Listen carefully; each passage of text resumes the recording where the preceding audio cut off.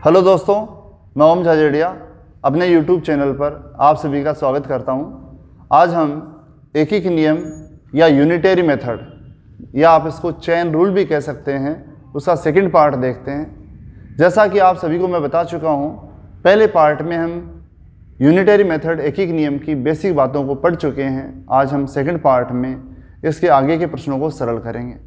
यह है जो अपना चैप्टर है यूनिटरी मेथड है यह आपकी राजस्थान लेवल पर जो भर्तियाँ हैं, जैसे रीट अभी जो वर्तमान में 2 अगस्त की जिसकी राजस्थान सरकार ने घोषणा कर रखी है, एग्ज़ाम होने की तिथि है 2 अगस्त, या आप उसके अलावा अधीनस्थ सेवा चयन बोर्ड द्वारा आयोजित की जाने वाली पटवार भर्ती परीक्षा हो, चाहे आपकी पुलिस भर्ती परीक्षा हो, इन तीनों एग्ज़ाम्स में इसके क्वेश्चंस कन्फर्म पूछे जाने हैं।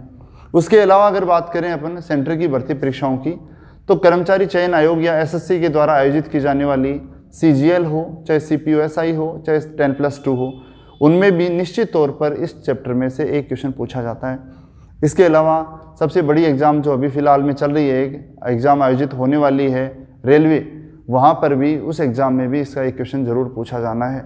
तो ये टॉपिक जो है, ये सभी कंपटीशन एग्ज़ाम्स के लिए बहुत ही महत्वपूर्ण टॉपिक है और लगभग एग्ज़ाम्स में इसमें से, इस टॉपिक में से एक से दो क्वेश्चन पूछे जाते रहे। आज हम इस एक ही नियम के यूनिटरी मेथड के आगे के सेकंड पार्ट को पढ़ते हैं। जिन बच्चों ने फ़र्स्ट पार्ट नहीं पढ़ा है, वो पहले फ़र्स्ट पार्ट देखने के बाद ही सेकंड पार्ट को देखें, जिससे उनको अच्छी तरह क्लियर होगा। अब हम आगे बढ़ते हैं। मैंने आपको बताया था, यहाँ पर इस चैप्टर में एम होती है व्यक्तियों की संख्या डी दिन एच घंटे डब्लू कार्य और आर दर होती है।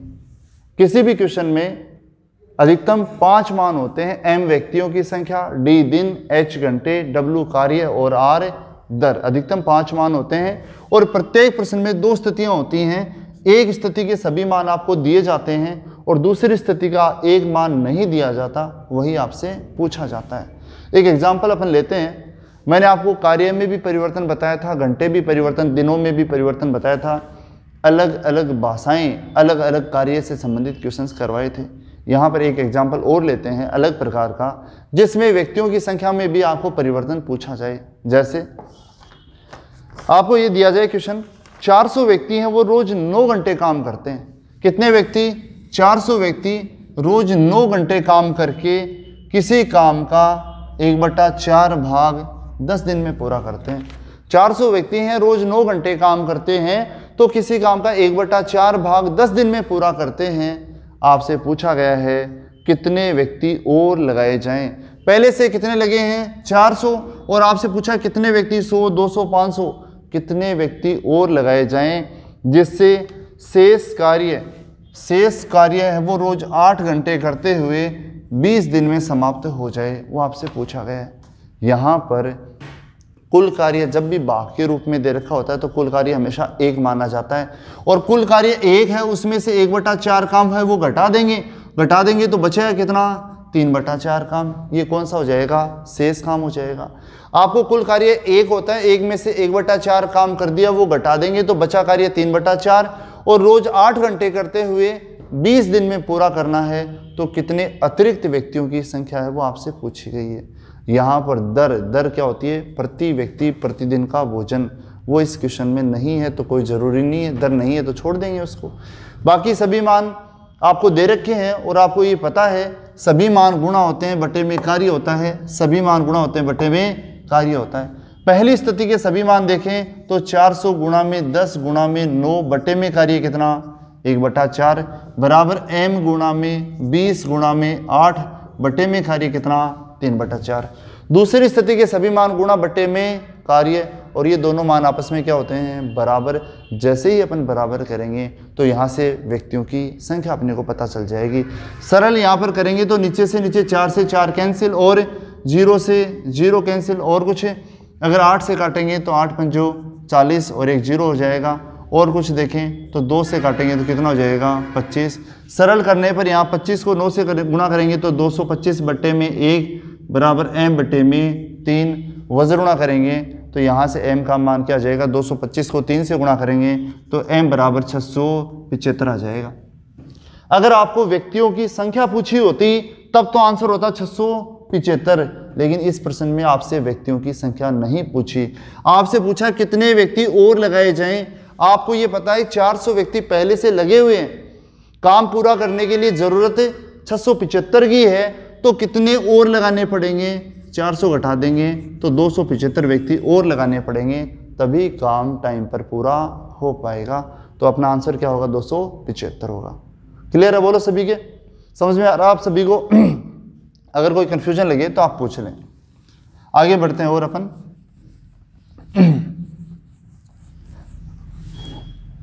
इसको थोड़ा सा मैं और चेंज कर रहा हूँ। भाषा में थोड़ा सा और परिवर्तन करते हैं।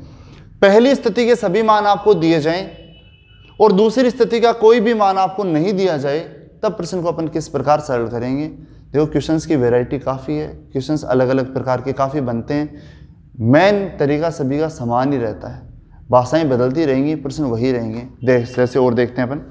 आपको ये कहा जाए, किसी कार्य को करने के लिए 300 दिन का ठेका दिया जाता है। किसी काम को करने के लिए 300 दिन का ठेका दिया जाता है मतलब काम 300 दिन में पूरा करना है।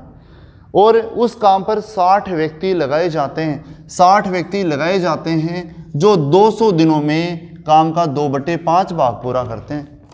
किसी काम को 300 दिन में पूरा करना था 60 व्यक्तियों को काम पर लगाया गया 200 दिन तक उन 60 व्यक्तियों ने काम किया और 200 दिन में काम का केवल दो बटे पाँच भाग पूरा किया। आपसे पूछा जाएगा, बताओ कितने व्यक्ति और लगाए जाएँ जिससे शेष काम टाइम पर पूरा हो जाए?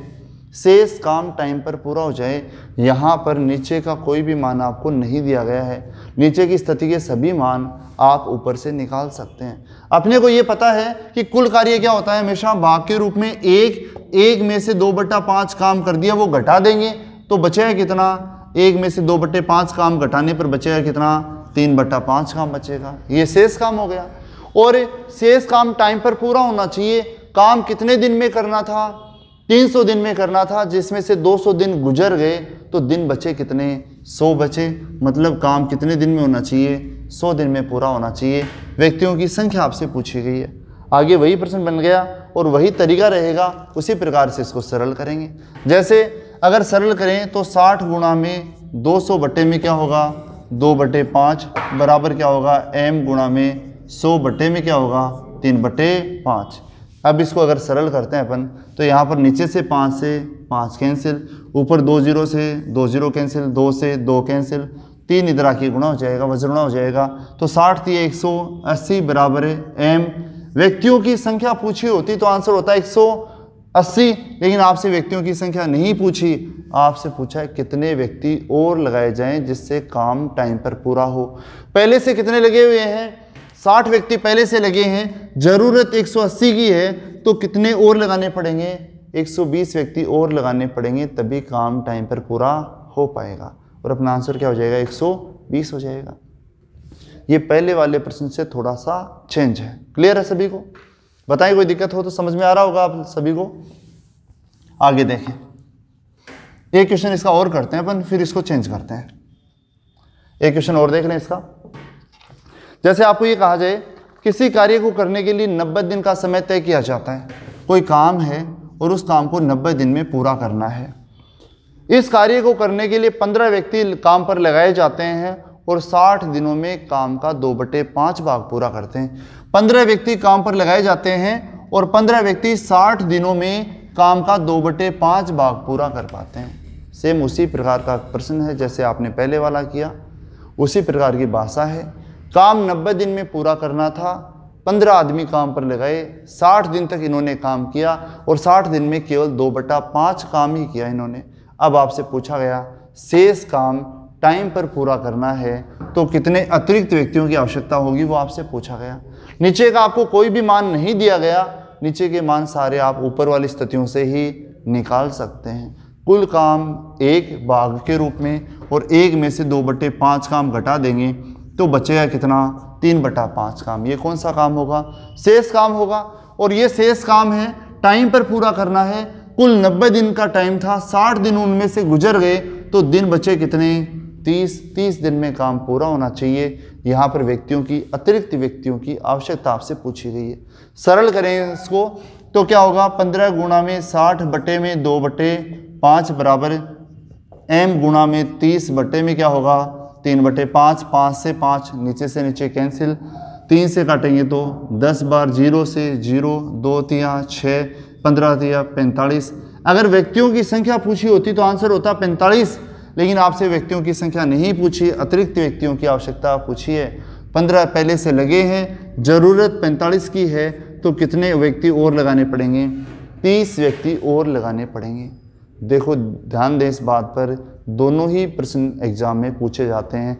व्यक्तियों की संख्या पूछे तो आंसर 45 और अतिरिक्त व्यक्तियों की आवश्यकता पूछे तो 30 आपका आंसर होगा। थोड़ा सा और चेंज करते हैं, अपन आगे बढ़ते हैं इसको। किस प्रकार देखो? क्वेश्चन में थोड़ा परिवर्तन करते हैं। आपको दिया जाए, जैसे 60 व्यक्ति हैं और वो 60 व्यक्ति किसी काम को 80 दिन में पूरा कर सकते हैं। 60 व्यक्ति किसी काम को 80 दिन में पूरा कर सकते हैं। अगले वाला जो अपन प्रश्न करने जा रहे हैं, उस क्वेश्चन में आपको कार्य नहीं दिया जाएगा। आपको कार्य नहीं दिया जाएगा और ये भी नहीं बताया जाएगा कि कितना काम हो चुका है और कितना बचा हुआ है। अपने को कार्य का पता नहीं चलेगा। फिर अपन क्वेश्चन को किस प्रकार करेंगे उसको देखो। साठ व्यक्ति है और वो किसी भी काम को, काम जो भी हो, उसको अस्सी दिन में पूरा कर सकते हैं। अगर आपको मैं ये कहूँ, दस दिन बाद मतलब कार्य प्रारंभ होने के दस दिन बाद जब काम स्टार्ट हो चुका तो इन साठ आदमियों ने दस दिन तक तो काम किया ही है।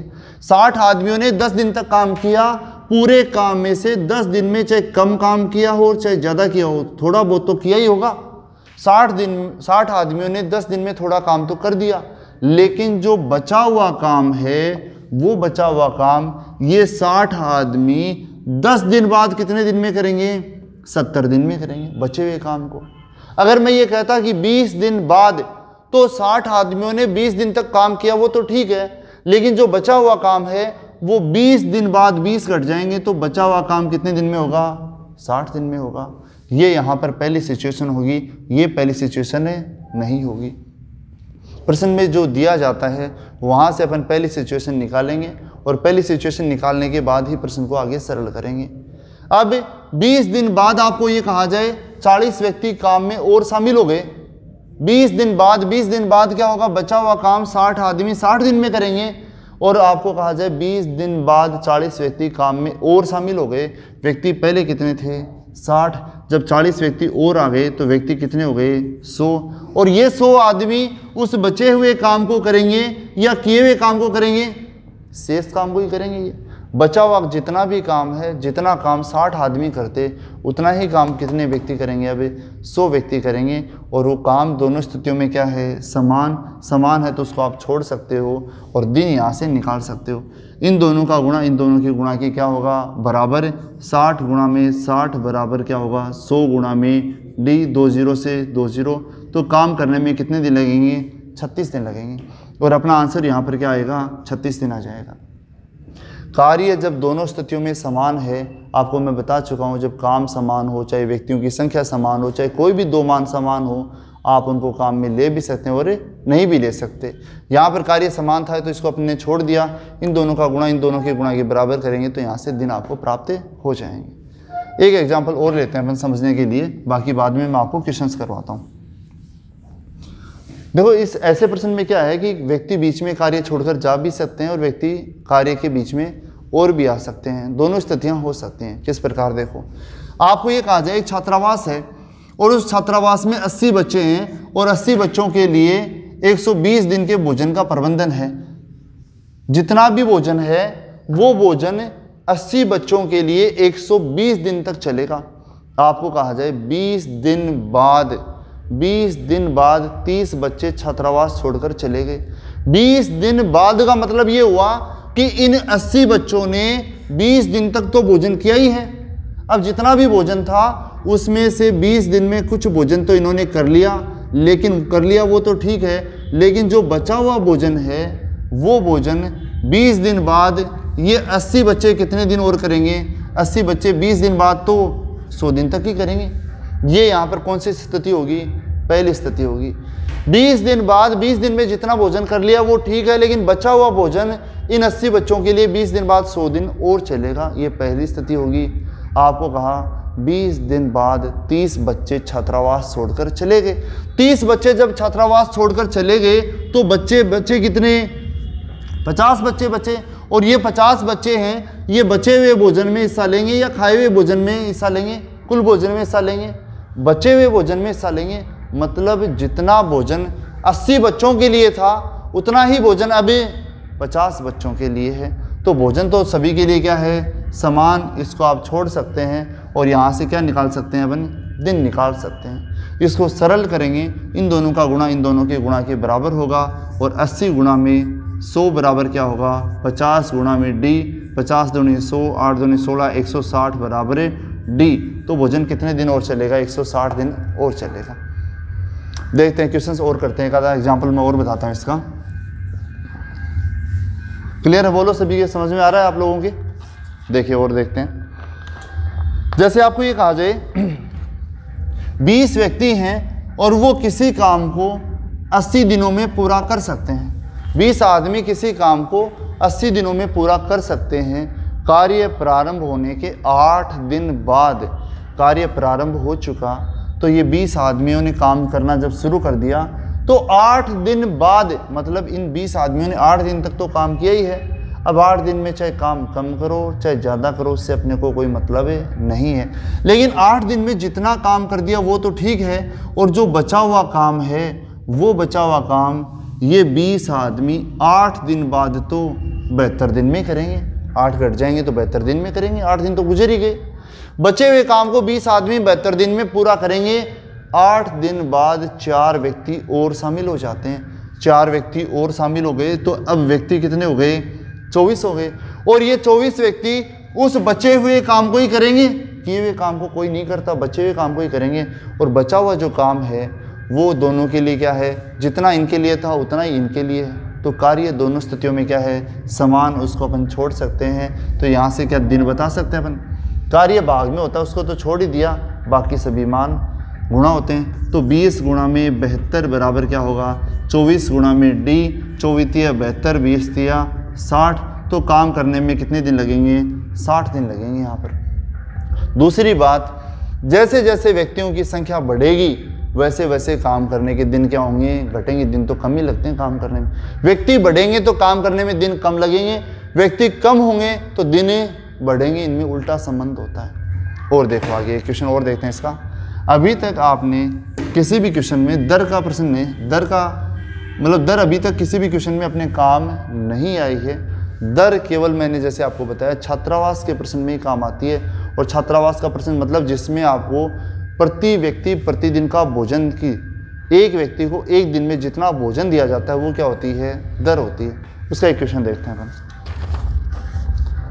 आपको दिया जाए, एक छात्रावास में 300 छात्रों के लिए 30 दिन का भोजन है। एक छात्रावास में 300 छात्र हैं और 300 छात्रों के लिए 30 दिन का भोजन है। जितना भी भोजन है, वो 300 बच्चों के लिए 30 दिन तक चलेगा। अब 10 दिन बाद 10 दिन बाद का मतलब इन 300 बच्चों ने 10 दिन तक तो भोजन कर लिया। 10 दिन में इन्होंने थोड़ा सा मान लो भोजन, इतना भोजन कर लिया।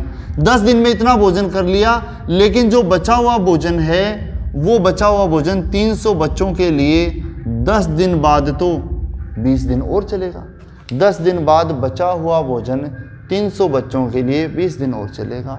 आपको कहा गया दस दिन बाद पच्चीस विद्यार्थी और आ गए। पहले विद्यार्थी कितने थे? तीन सौ पच्चीस विद्यार्थी और आ गए तो विद्यार्थी हो गए तीन सौ पच्चीस। दस दिन बाद पच्चीस विद्यार्थी और आ गए तो विद्यार्थी हो गए तीन सौ पच्चीस।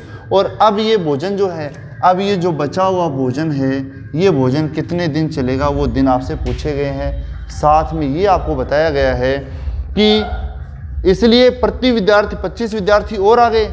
इसलिए प्रति विद्यार्थी के प्रतिदिन का भोजन मतलब एक विद्यार्थी को एक दिन में जितना भोजन दिया जाता है, वो दर होती है। प्रति विद्यार्थी के प्रतिदिन का भोजन 1300 ग्राम से घटाकर एक किलो कर दिया गया। 1300 ग्राम से घटाकर मतलब पहले अगर एक बच्चे को 1300 ग्राम देते थे तो अब एक बच्चे को एक किलोग्राम एक किलोग्राम का मतलब एक हज़ार ग्राम देंगे। पहले जैसे ही बच्चे और आ जाते हैं तो प्रति बच्चे को एक दिन में जितना बच्चे को भोजन दिया जाता है, वो पहले 1300 ग्राम था, अब उसको हटा कर कितना कर दिया? एक किलो कर दिया गया। या तो दोनों को ग्राम में रखेंगे या दोनों को किलोग्राम में रखेंगे, इकाई दोनों की समान होनी चाहिए। चाहे ग्राम हो, चाहे किलोग्राम वो आपकी मर्ज़ी है। भोजन जो है, जितना 300 बच्चों के लिए बचा हुआ था, उतना ही भोजन है, वो 325 बच्चों के लिए है। भोजन दोनों स्थितियों में क्या है? कार्य दोनों स्थितियों में समान उसको छोड़ सकते हैं, बाकी सभी मान क्या होते हैं? गुणा वो आपको पता है। बाकी सभी मान गुणा होते हैं।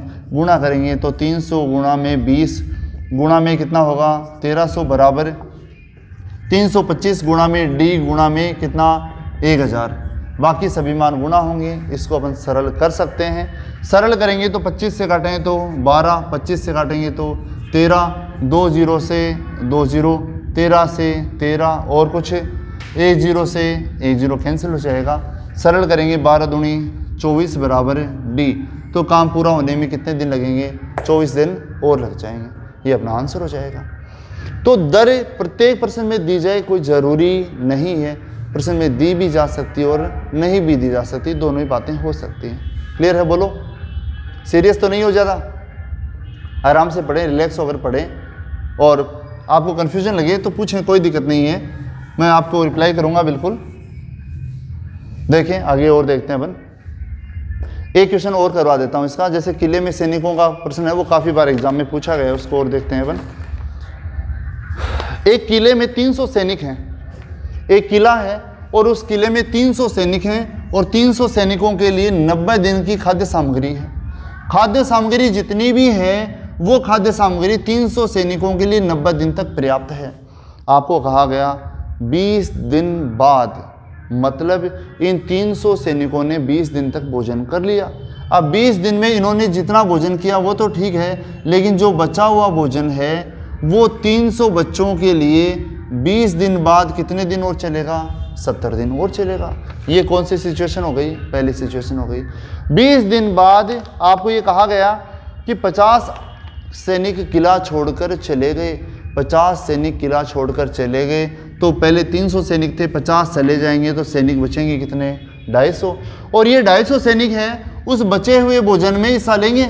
और जो बचा हुआ भोजन है, वो इन बच, इन सैनिकों के लिए 250 सैनिकों के लिए कितने दिन और चलेगा, वो आपसे पूछा गया साथ में ये दिया गया है कि पूर्ववत दर से, पूर्ववत दर से मतलब पहले वाली दर से, पहले एक सैनिक को जितना भोजन देते थे, अब भी उतना ही भोजन देते हैं।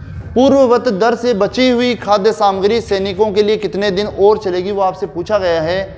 यहाँ पर आपको ये पता है, पूर्ववत दर का मतलब पहले एक सैनिक को अगर 100 ग्राम देते थे तो अब भी 100 ग्राम देते हैं, पहले 500 ग्राम देते थे तो अब भी 500 ग्राम ही देते हैं। जब दर दोनों स्थितियों में समान है, दर हो चाहे कुछ भी, लेकिन जब दोनों स्थितियों में समान है तो उसको अपन छोड़ सकते हैं। कार्य दोनों स्थितियों में या भोजन दोनों स्थितियों में क्या है? समान उसको भी छोड़ सकते हैं। बाकी बचा क्या? वो तो गुणा होने बाकी बचा ये दोनों गुणा के, इन दोनों के गुणा के बराबर होगा। तो 300 गुणा में 70 बराबर 250 गुणा में डी ज़ीरो से ज़ीरो, पच्चीस से काटेंगे बारह बारह सात, चौरासी। तो काम पूरा होने में कितने दिन लगेंगे? चौरासी दिन लगेंगे। इस प्रकार ये क्वेश्चन अपना सोल्व हो जाएगा। ये थोड़ा अलग क्वेश्चन था पहले वाले से। इसमें बीच में कुछ व्यक्ति चले जाते हैं तो बीच में कुछ व्यक्ति काम में शामिल और हो जाते हैं, इस प्रकार से था। अपन और आगे बढ़ते हैं। इसके बाद इसके बाद जो नेक्स्ट क्वेश्चंस आते हैं, उनमें क्या होता है कि यहाँ पर कार्य करने वाली जो इकाइयाँ होती हैं, वो अलग अलग होते हैं। कार्य करने वाली इकाइयाँ अलग अलग होती हैं मतलब एक तरह से यहाँ पर अभी तक जो भी आपने प्रश्न किए, उनमें यहाँ पर व्यक्ति थे तो यहाँ भी व्यक्ति थे, यहाँ सैनिक थे तो यहाँ भी सैनिक थे, यहाँ बच्चे थे तो यहाँ भी बच्चे थे यहाँ बल्ब थे तो यहाँ भी बल्ब ही थे, लेकिन अगले वाले प्रश्नों में क्या होगा? कार्य करने की इकाइयाँ अलग अलग होंगी। अलग अलग किस प्रकार? यहाँ पर पुरुष होंगे, यहाँ पर महिला होंगी। यहाँ 20 पुरुष किसी काम को 60 दिन में करते हैं तो 15 महिला काम को कितने दिन में पूरा करेंगी? यहाँ काम करने की इकाइयाँ अलग अलग होंगी। यहाँ पुरुष हैं तो यहाँ क्या है? महिला। वो अगर इकाइयाँ अलग अलग हैं तो पहले इकाइयों को समान बनाएँगे और इकाई को समान बनाने के बाद ही प्रश्न को सरल करेंगे। उन क्वेश्चंस को अपन नेक्स्ट वीडियो में देखते हैं। जल्दी वो वीडियो में अपलोड करूँगा वीडियो बनाऊँगा और आप लोगों को याद करेंगे। अगर आप लोगों को वीडियो पसंद आया तो ज़्यादा से ज़्यादा लाइक करें शेयर करें सब्सक्राइब करें। ओके थैंक यू फिर मिलते हैं।